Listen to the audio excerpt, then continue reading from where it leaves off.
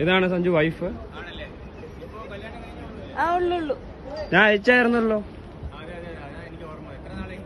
ഒരു മാസം. മാസമായിരുന്നു ആ, ആ. അല്ലല്ല ഇല്ല, അവൾ നാട്ടിലായിരുന്നു. കല്യാണം കഴിഞ്ഞ് ഒരുമിച്ച് എന്നുണ്ട്. ഇപ്പൊ എന്തായാലും